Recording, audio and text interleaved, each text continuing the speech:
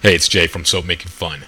I spent some time trying to find some soap recipes that use aloe vera, and it turns out that I actually had a pretty tough time finding legitimate recipes. Most of the recipes that I found either linked to something else that didn't have a recipe on it, or the recipe didn't quite look like it was something that I wanted to send to you guys. But this one, I know that eaudrey.com has good stuff, and this is what I found on her website.